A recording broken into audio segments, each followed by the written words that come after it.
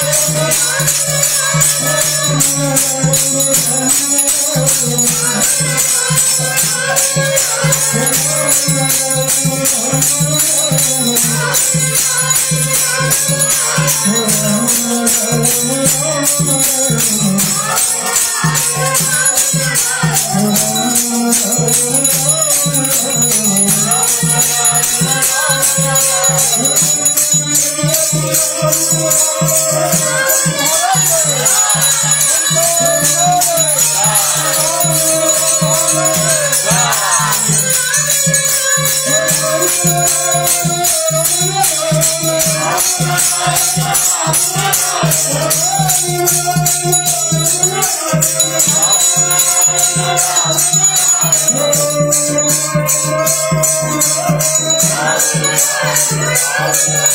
you.